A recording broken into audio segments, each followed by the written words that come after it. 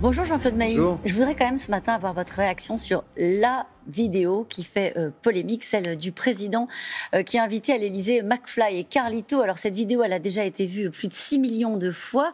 Est-ce que vous y voyez, vous, une dégradation de la fonction présidentielle? C'est de la communication pour, pour l'essentiel. Oui, moi, je. Bon, peut-être que ce sera utile, j'en sais rien, j'en suis pas sûr. Mais oui, je crois qu'à un moment donné, la fonction présidentielle respecte une certaine hauteur, non pas une hauteur par rapport aux citoyens, mais sur la fonction en tant que telle. Donc euh, j'aurais préféré qu'il soit plus proche des citoyens et qu'il fasse moins de com. Les émetteurs habituels de messages, les partis, les médias, les syndicats mmh. sont parfois plus audibles par une partie euh, de la population. Est-ce qu'il faut changer euh, cette manière justement de communiquer? Est-ce que c'est pas, pour le coup, ce qu'a essayé de faire le président de la République?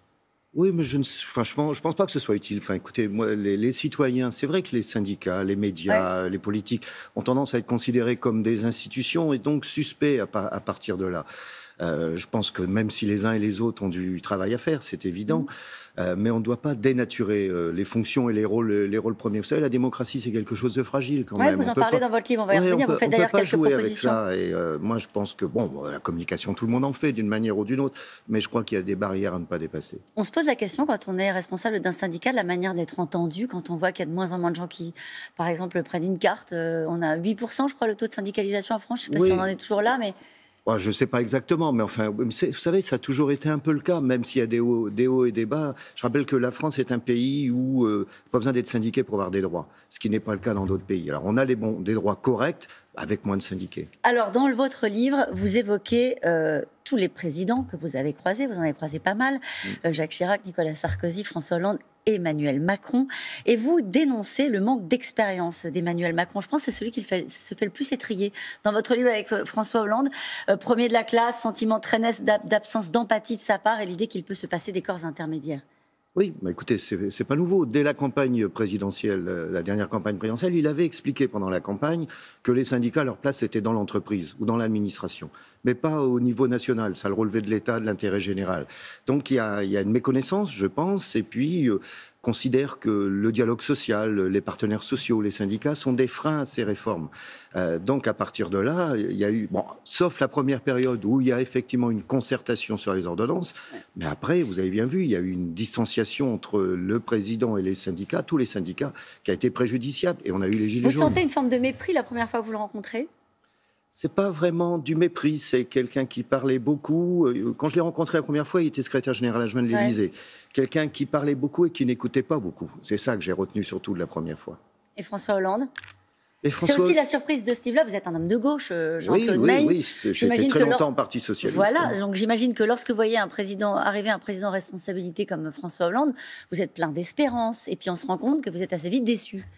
Oui, parce que, enfin, c'est pas l'homme. L'homme est sympathique quand on discute avec lui, mais c'est la difficulté avec François Hollande. En tous les cas, en ce qui me concernait, quand je le rencontrais, j'avais pas de réponse aux questions que je posais. Je sortais du bureau, je ne savais pas si c'était oui ou non.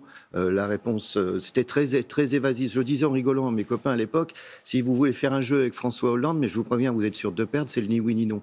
Donc c'était ça le problème. Et je considère que sur toute une série de, dossiers, ce qu'on a appelé la loi travail, euh, on dit la loi El oui, mais moi je préfère l'appeler la loi Macron, parce que c'est lui qui était derrière déjà à l'époque, comme ministre de l'économie. Donc c'est quelqu'un où on avait du mal à avoir des, des positions d'une manière ou d'une autre. Vous avez été surpris par Nicolas Sarkozy lorsqu'il était en fonction et sur la façon dont il a traité, entre guillemets, les, syndicats, les partenaires sociaux?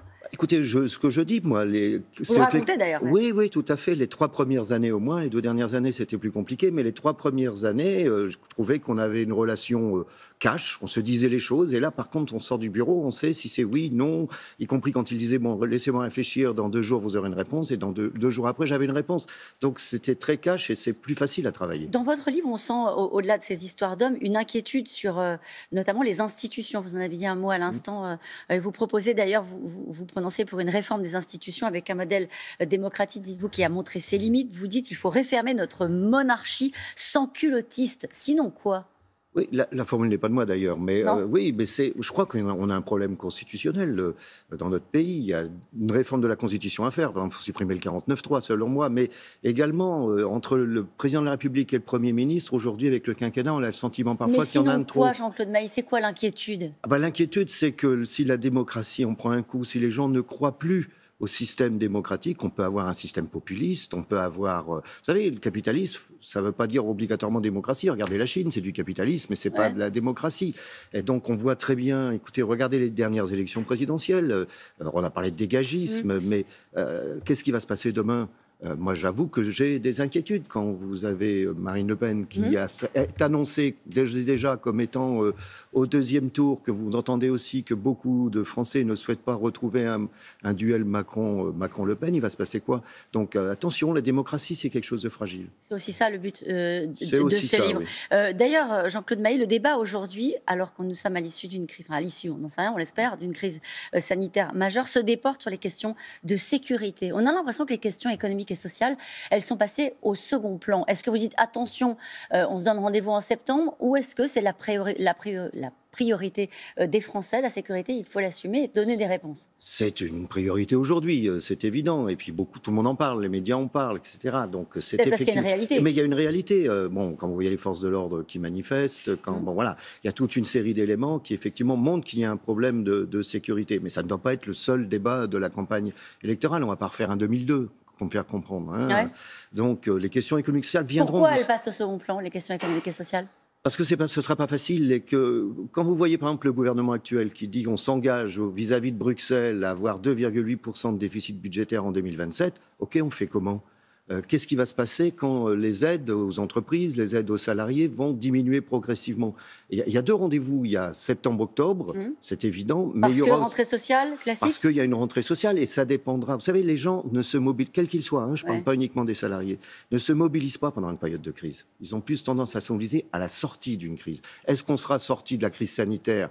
J'en sais rien en septembre-octobre. Et il y aura une deuxième étape en 2022, au-delà de l'élection présidentielle, c'est qu'est-ce qui va se passer sur le plan économique et social après 2022, où il n'y aura plus les aides vraisemblablement, euh, où il risque d'y avoir du chômage, où il y aura des artisans, des commerçants qui vont se retrouver à la rue. Voilà, donc euh, attention, c'est un chaudron d'une certaine manière. Et c'est souvent dans les périodes de reprise avec l'expérience qui est la vôtre, que les choses se compliquent bah, socialement Les gens sont rassurés et les gens, euh, la colère ou la peur bah, ressort d'une manière ou d'une autre et s'exprime. Vous êtes passé dans le privé, Jean-Claude Mailly? Ouais, bon, j'y étais déjà remarqué d'une certaine manière. Je Hein. J'ai jamais été fonctionnaire, moi. Bon, euh, oui, j'ai créé ma structure. On vous reproche parfois, quand vous croisez dans la rue, d'être passé de l'autre côté? Non, c'est arrivé une fois ou deux, oui, oui, mais j'ai suspecté que c'était un mélenchoniste, donc ça m'a pas fait froid dans le dos. Ah oui, c'est vrai, c'est toujours aussi compliqué avec Jean-Luc Mélenchon? Ah oui, écoutez, chacun, chacun son style, hein, et chacun ses idées, oui. Merci beaucoup Merci à vous. d'avoir été notre invité ce matin. Et donc, je le rappelle, manif et chuchotement de Jean-Claude Mailly chez Flammarion.